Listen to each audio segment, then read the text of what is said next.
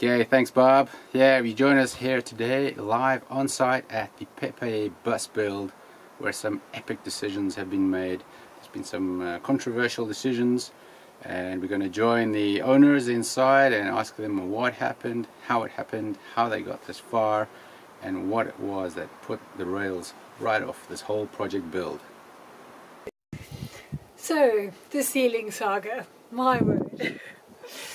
It feels like we've been busy with the insulation and the ceiling for months. Probably we have, and that is my fault. So whose bad idea was this? Hmm? We've had a really big setback. Um, this is more than a sidestep in the cha-cha. Nothing to see here, no problem at all. Just carry on doing what you're doing. Told you we should have made a cabrio.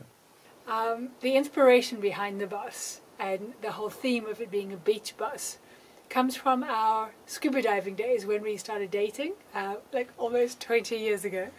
Uh, we did our um, open water one uh, training course in Ponta do Ouro in Mozambique and we stayed in this amazing shack.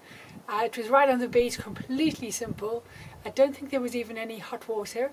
But we looked at each other and said, you know what, what more in life do you need? You've got a bed to sleep in, you've got food, you've got an amazing place to be and you know that just inspired us completely to live simply. Um, the more material things you have, the more of a trap becomes. So for us, the idea behind this is to set this up as simply as possible, but in a way that makes us feel happy and you know takes us to that happy place. Uh, part of the reason why we have a bus instead of a shack somewhere is that where do you buy your shack? you know, and then you're stuck to that one spot. Whereas having our beach hut on wheels, we can take our beach hut to whichever beach we want to. So that's the idea and the inspiration behind it. But I digress. what does this have to do with our ceiling? Well, back in South Africa, a lot of the shacks are um, done with corrugated iron. And because the height restrictions we have here, that was not a, a question. You know, some people use in the shower. Some, so we thought, well, you know, because we've done so much insulation in the bus. It's unbelievable. I mean, if you have metal things inside your house and it's well insulated, they don't condense. So I thought, well, maybe we can have, you know, beautiful zinc or, you know, very fine galvanized steel or something as the ceiling, so it's underneath all the insulation. And my husband, being the amazing guy that he is, said, okay, fine, let's try it. So we fitted everything out, we cut it all out. I mean, it was a, you know, because we had one of those hand... Uh, um, steel scissors snips. So every, I mean, it, it, took a while, it took a while. But I was thrilled with the result because it kind of looked, you know, wavy, which made me think of being out in the ocean on the dive boats and it's early morning and you see this the, the sea has this lovely silver uh, color over it and it's just like gentle waves and that's the kind of effect that we're getting on the ceiling which is absolutely stunning. I tried doing it with a tape measure, it just wasn't working. So this is bendy and flexible. Seems to be working, so I've marked off the other side. And it matches this side too. Seems to be working quite well. Cuts, cuts easily.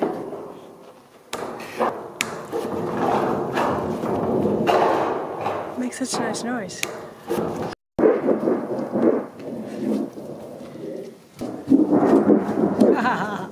yeah, baby. Buongiorno. How's it going out there, guys? Salut, it's, salut. It's a fresh morning. It's about four degrees outside, so um, I thought we'd come out and do some work, as you do. Yes. So, stage one of our uh, second attempt at the ceiling is not looking too good. Yeah. Check this out.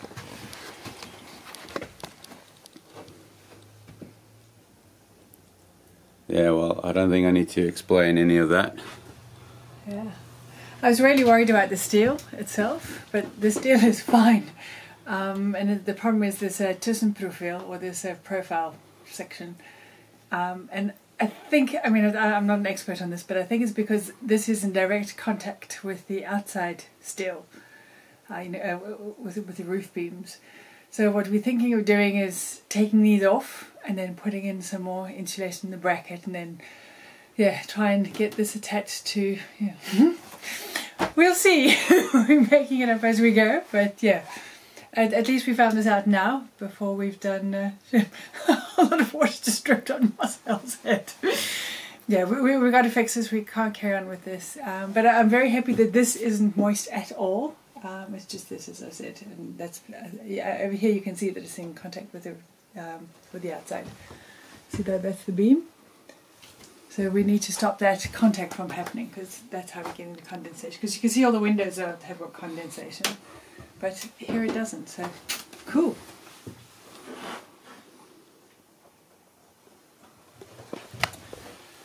So yeah, and a little bit of a left turn, another cha-cha moment. Cha-cha. Uh, should have known this actually. I mean, we're doing everything we can to provide an insulation around everything except for this piece, which was part of the original van. We thought we'd leave it in there. It might be handy to clip it into, which has worked for us, but now we're. I think we're going to remove it. I mean, this is ridiculous. You can't leave it like this. So I'm glad we found this now and not like three months down the road after we're done. Yeah. So it's a good job doing these builds in winter. Yay! You find out stuff like this. Rainy, wind, rainy and wet, and you find out if there are leaks. You find out if there's condensation problems.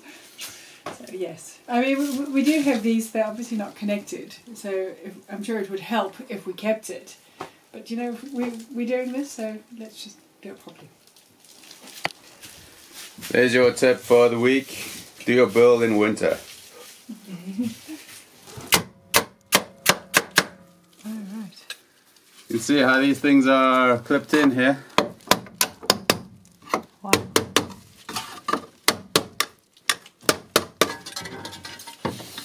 Oh gosh, There's Wow. that's quite clever actually. They weren't going to go anywhere. These weren't going to go anywhere.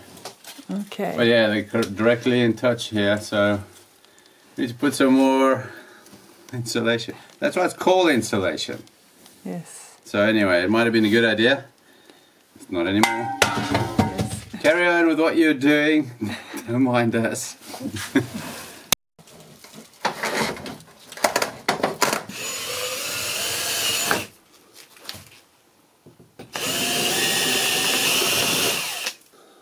Well, order has been restored.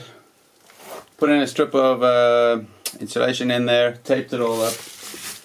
Uh, that should be good. I hope so. Now we can carry on with the ceiling.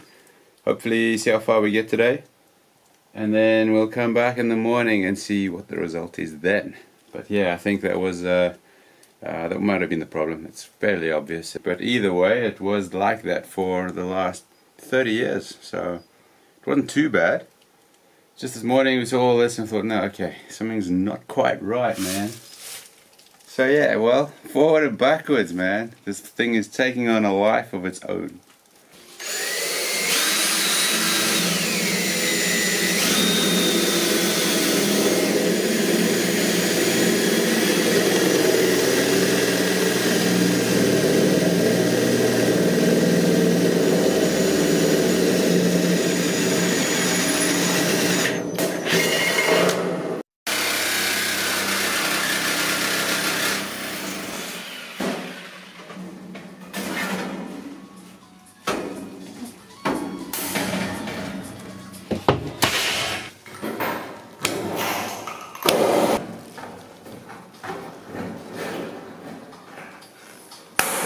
Well done. Hee-hee. Cool.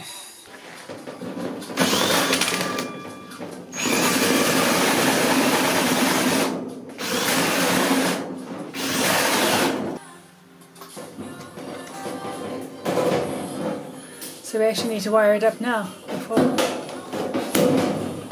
Hey, check it out. That looks nice.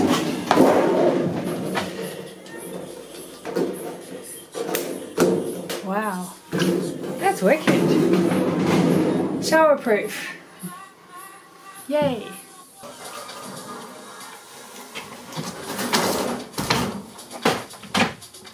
Yeah.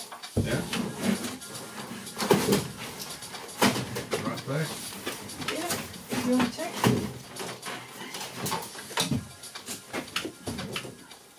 Okay.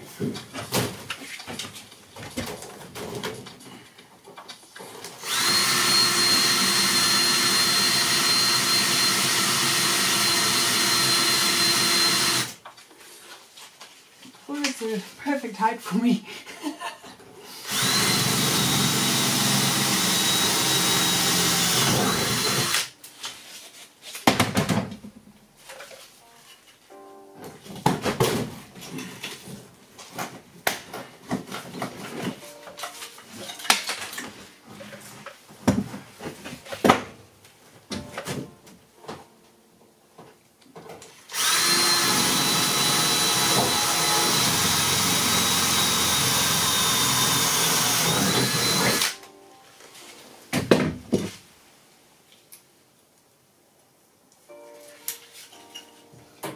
Excellent for those chicken wings. oh, the guys had burn, man. I love it. Love it, love it, love it, love it, love it, love it, love it.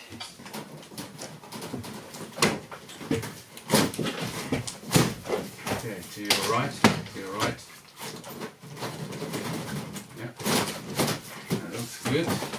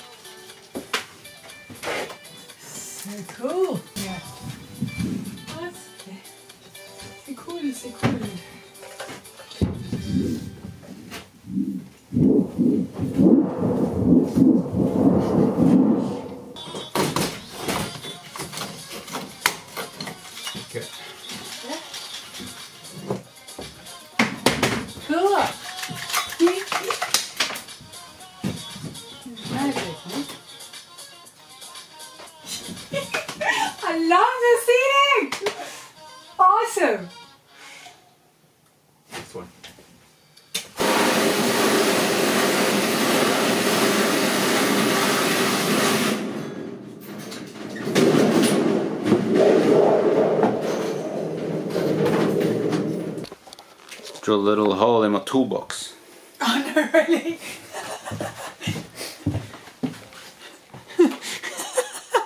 Poor toolbox.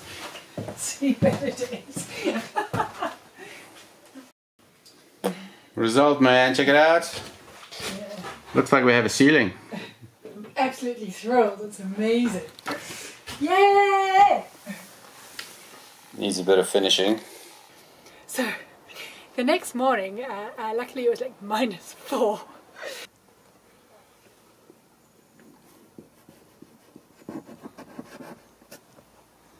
Wow, morning campers, check that out. That is the most frosty we've seen it yet. This is the big test. Yesterday we had a lot of condensation along the top middle rail, as you may remember. So now let's see what's happening inside. Next morning, we, we come inside the bus and I'm going, oh, condensation. There's no condensation. Wow. Yes, yes, yes, yes, yes, yes, yes, yes. No condensation. And it's not, I mean, it's cold, but it's not not as cold as it is outside. And there's ice on the windows. This is amazing.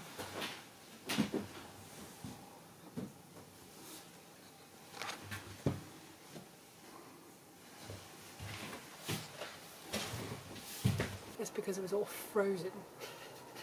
Hmm? so Marcel kind of looks at me and says, I'm sorry, Vic, but you know, we can't have this. We're going to be having drips when it all defrosts. Let's see, that's ice. Shit. wow.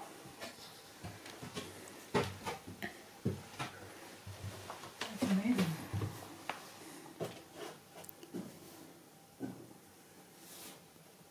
Wow.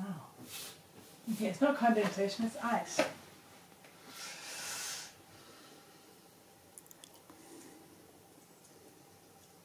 No.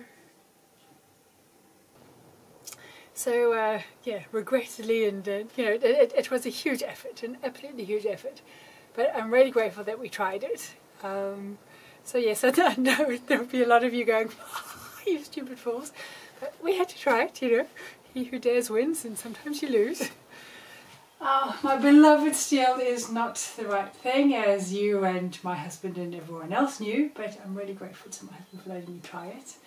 Uh, we were very fortunate that it froze last night and we got in this morning and there's actually ice on the steel, so we know that this isn't the solution for us.